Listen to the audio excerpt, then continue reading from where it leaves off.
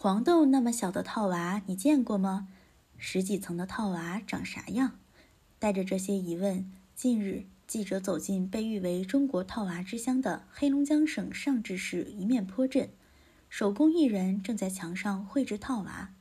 这座百年古镇，早在二十世纪五十年代便有民间艺人学习钻研俄罗斯套娃制作技艺，制作出精美的一面坡套娃。椴树去皮晾晒。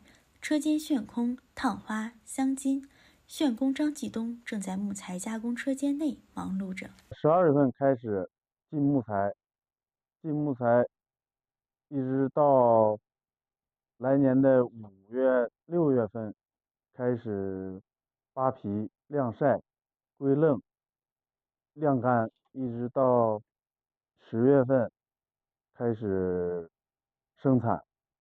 完了，这个旋这个。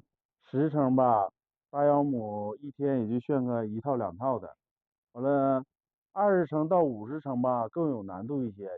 二十层的吧，完了相当能这么高，那个更难一些，得大腰母得一天左右能炫个一套。这个炫这个吧，得那个学呀，从大到小得一层一层的学，因为啥？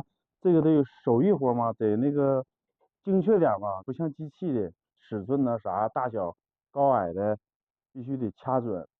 在这里，除了技术精湛的手工艺人，一面坡丰富的林业资源也为套娃之乡的发展提供了有利条件。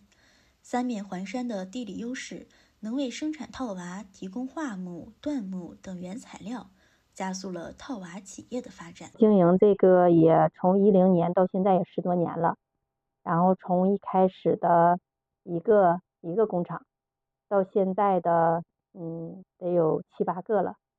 每个厂子从几个人到现在十几个、二十几个、三十几个。男的旋工呢，都是基本上都是村里的人，然后他们除了种地之外，然后都是在咱厂子里上班。化工呢，都是都是家庭妇女，嗯，百分之九十都是宝妈。现在呢，就是说我们的量已经够用了，普通盒和那个。嗯，半径的比较多，然后陆续我们想那个往精品上发展。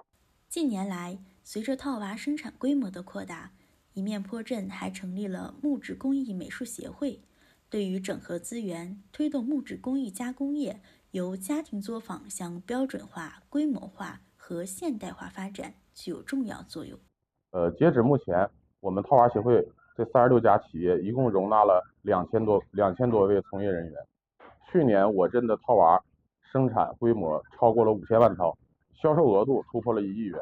呃，我镇生产出的套娃，呃，远销这个国内外。呃，主要销售渠道是满洲里、海拉尔、绥芬河，其他少部分呢会销往一些欧美国家，包括咱们东南亚的一些呃国家。呃，我们协会短期内啊，计划将所有的这些呃套娃生产企业整合到一起，成立一个这个套娃产业创业园区，呃，打造出一个一面坡的这个特色品牌。